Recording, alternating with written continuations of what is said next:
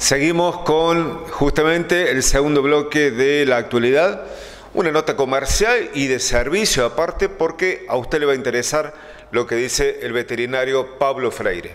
Buenas tardes, hoy vamos a hablar acerca de los beneficios de la cirugía de castración o esterilización en machos, en hembras, en caninos y en felinos. Es un procedimiento que ya es habitual, se hace no solamente para que los números de la población no sigan creciendo, sino también tiene muchos beneficios en la parte reproductiva de los animales y también en la parte de conducta de los animales. Eh, en el caso de, los perros, el común es que la gente opere las hembras, eh, pero cada vez más se está inclinando por hacerlo por, los machos. Cuando nosotros operamos los perros, logramos que la agresividad de los machos hacia otros animales disminuye mucho y también disminuye o casi se anula el marcado de orina en distintos territorios. Eh, vemos en la parte de prevención de, enfermedades a posteriori es que los tumores de mama no aparecen en las hembras y en los machos no vamos a tener tumores de próstata.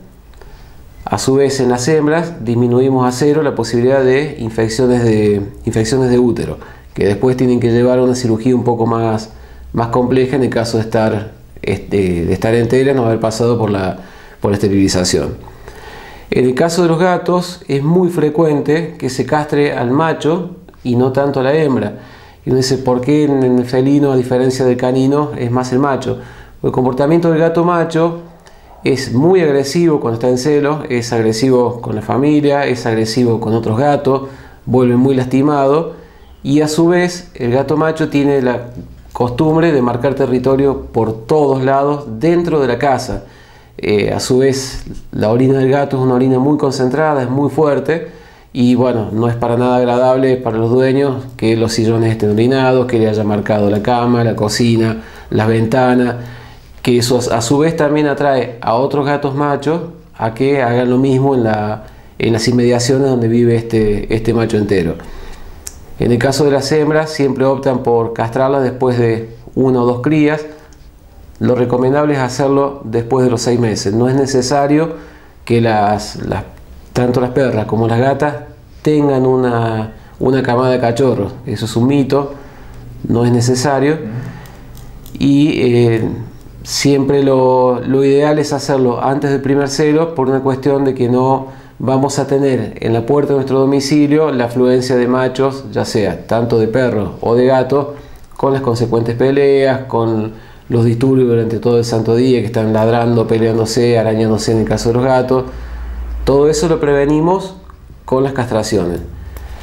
Hay otros métodos para evitar los, celos o las preñeces, que es por intermedio de pastillas o de inyecciones. La contra que tienen es que a mediano o a largo plazo traen complicaciones de tumores, de tumores de mama fundamentalmente, y de infecciones uterinas, que como decía al principio, luego llevan a una cirugía que es más compleja, porque ya requiere otro tipo de intervención, se tienen que retirar el útero y los ovarios en forma completa, es una cirugía abdominal más, más complicada. Espero que este micro les, les eh, ayude. Ante cualquier duda, por favor no duden en contactarse con la producción de Canal 11, lo pueden hacer por las redes sociales de, de Sergio o llegándose por el local en la calle, en la calle López y Planes 230, esquina Tazano, y cualquier duda será, será evacuada. Muchísimas gracias y nos vemos en el próximo micro. Bien, muchas gracias, doctor Freire. Bueno, nos hablaba, por supuesto, ahí temas de interés para su mascota, esterilizaciones, castraciones, vacunaciones. ¿eh? Tendremos a, no le digo a diario, pero sí, tal vez cada 15 días, un micro con el veterinario de veterinaria justamente el Chaltén de la cumbre. Y les sugiero que ustedes nos comuniquen o que nos hagan su pregunta para transmitírselas a Pablo Freire. Vamos a continuar, nos volvemos nuevamente a la parte política. Se están decidiendo en varias localidades lo que es el presupuesto tarifaria. Anoche terminaron muy tarde, pero les digo muy tarde, en el Consejo Deliberante de los Cocos. Nos avisaron, no, me enteré también a tiempo, estuve presente en gran parte de la noche extensa Eh, estoy hablando en el Museo de la Loma de los Cocos, donde en este tiempo de pandemia se ha reunido este Consejo Deliberante y anoche se votaba en segunda lectura el presupuesto tarifario impositiva luego de la semana pasada que se realizó la audiencia pública.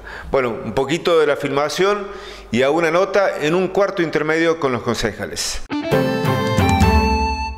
Hola Sergio, bueno, muchas gracias por, por llegarte. Eh, sí, como vos dijiste, una etapa muy importante, estamos finalizando el año, tarifario y presupuesto, impositiva, y bueno, acá estamos, ¿no? Cerrando las votaciones, bueno, con, con los aumentos que, se vienen y demás. Eh, bueno, yo, por lo menos para dejar claro por mi parte, eh, en lo personal no estoy muy de acuerdo con el aumento de la tasa, lo dejé reflejado en la votación, pero bueno.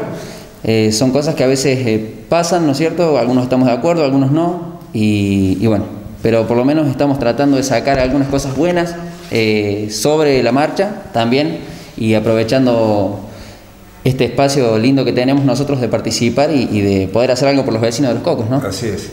Bueno, Mauricio todavía no está definido, en la general digo, bueno, lindo, lindo cuando se debate, queda articulado, es tedioso, es largo, pero bueno, hay que hacerlo y ustedes lo están haciendo.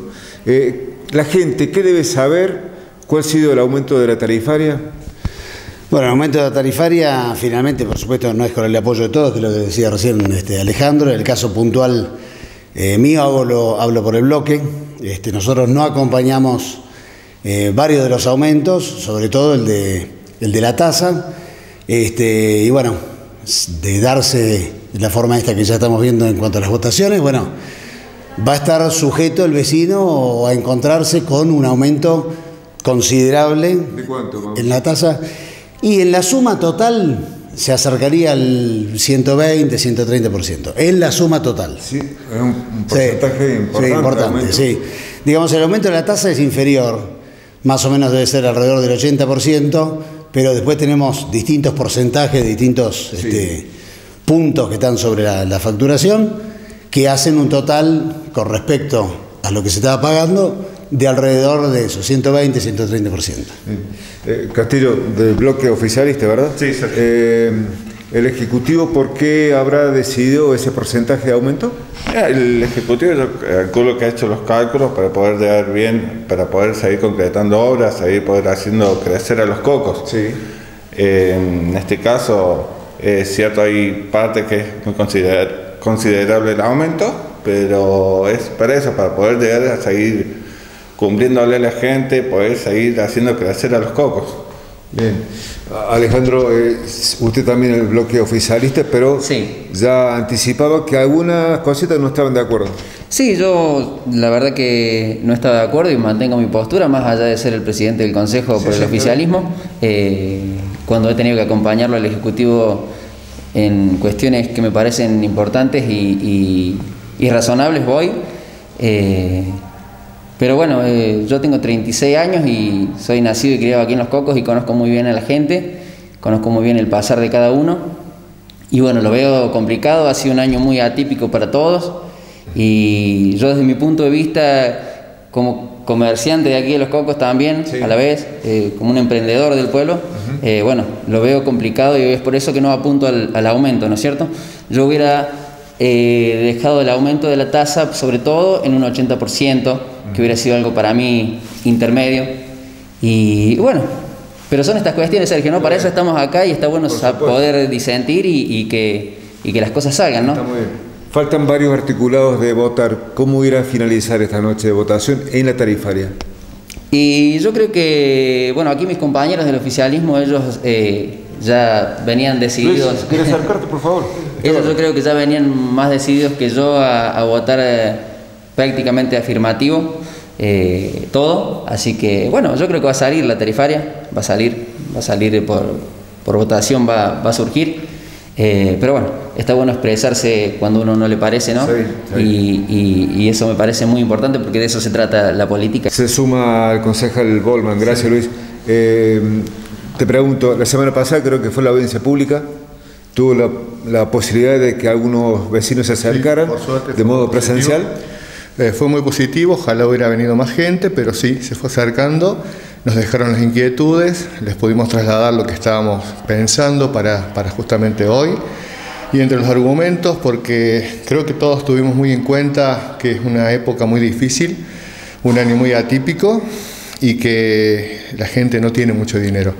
Pero creo que se intenta lograr a, título personal y en bloque el equilibrio tan difícil de que la municipalidad siga funcionando, no solamente para seguir expandiéndose y seguir con las cuentas en orden, sino para, en todo caso, funcionar y seguir brindando ayuda social como lo está haciendo en estos tiempos difíciles. Y por eso este aumento que sí es significativo, que creo que no da para mucho más, y que, pero que con la inflación que se puede venir y con los tiempos que corren, eh, en los números reales 140% parece mucho, pero en números concretos sería un 700, 800 pesos de promedio aproximadamente. Una casa tipo. Eh, sería. No, no, no. El aumento sería una casa promedio típico. Lo que pasa es que los cocos tienen zonas y, predios y situaciones diversas en cuanto a nivel de, construcción y todo lo demás. Las variables que se utilizan para fijar las tasas son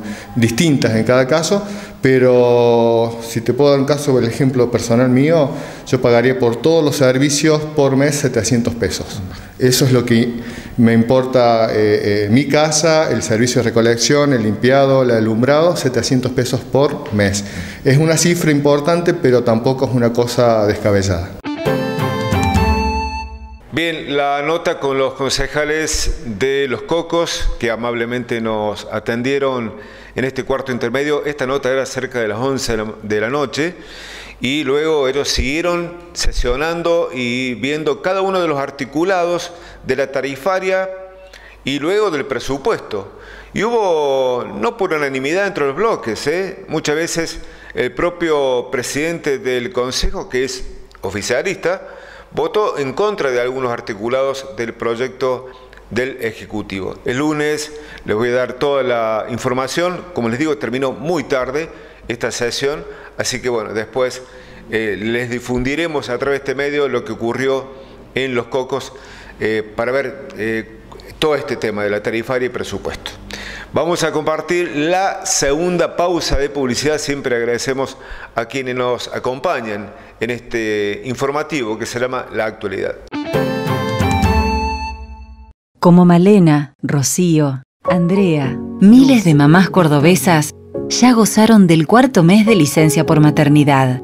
En Córdoba, desde hace cinco años, por ley, las mamás trabajadoras del sector privado tienen derecho de pasar más tiempo con sus recién nacidos, para dar miles de besos más, para recibir miles de abrazos más. Cuarto mes de licencia por maternidad. Entre todos, seguimos fortaleciendo el vínculo de las mamás cordobesas y sus bebés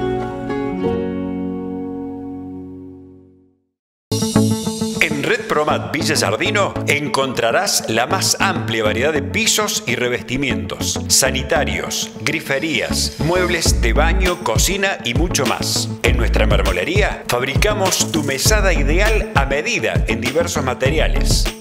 Te llevamos tu compra sin costo adicional. Recibimos todas las tarjetas y plan ahora 12. Aprovecha ahora también la promo de Bancor de 12, 20 y 24 cuotas fijas. Trabajamos con los créditos de ANSEP.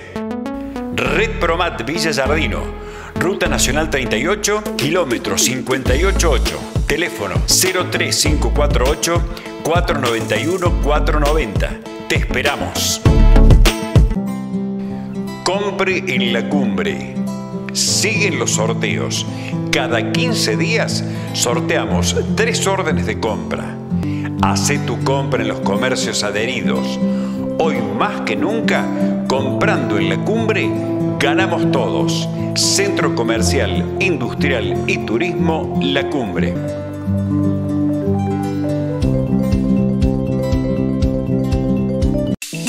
Sanos, Red Nacional de Emergencias Médicas. Recepción y despacho de emergencias médicas. Atención telefónica especializada para empresas de salud. Atención exclusiva, 24 horas los 365 días del año. Sistema operativo en atención médica, prehospitalaria y de gestión integral para empresas de salud. Sucursales Sanos, Córdoba, Entre Ríos, Buenos Aires, Chubut y Tierra del Fuego. Sanos, Red Nacional de Emergencias Médicas.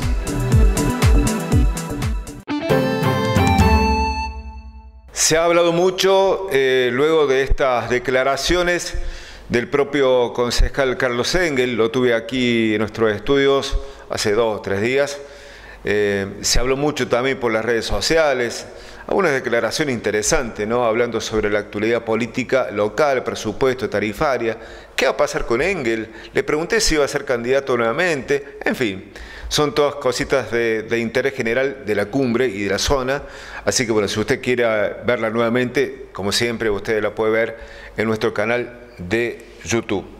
Eh, vamos a ir terminando. El lunes van a estar acá presentes integrantes del centro comercial. Tenemos el último sorteo regular de toda esta campaña Compre en la Cumbre y siempre les digo, incentivando a la compra a la compra de, en comercios de cada pueblo. En este caso, el compre en la cumbre, que, em, que, que, lo promueve el centro comercial justamente de nuestra localidad, al cual nosotros acompañamos en este medio. El lunes, el último sorteo, aprovechen este fin de semana de ir a los comercios de la cumbre que están adheridos a este sistema, le piden el cuponcito se anotan gratuitamente y pueden ser eh, premiados con importantes justamente premios y regalos que ofrece el centro comercial. El mundo de las montañas, imperdible, otro programa el día de hoy y les presentamos este adelanto exclusivo. ¿Cómo están? La bienvenida a nuestro espacio, al mundo de las montañas. Algo inusual a lo que estamos acostumbrados, algo diferente, algo distinto, pero siempre con el mismo propósito de relevar paisajes de nuestras eh, sierras de nuestra querida Córdoba y este, en este caso una reserva de uso múltiple, bañados del río Dulce y Laguna Mar Chiquita. Vamos con ese rumbo y con la intención de mostrarles a ustedes toda la riqueza que tiene este lugar que principalmente no se aguarda con una muy rica historia, con su paisaje muy especial, Saben ustedes que la población de flamencos rosados le da una característica particular. Y por cierto, todo lo que esté a nuestro alcance para caminar y aprovechar intensamente el tiempo que tengamos ahí. No se lo pierdan entonces, los invito a caminar con nosotros en esta mar chiquita y en esto que llamamos el mundo de las montañas.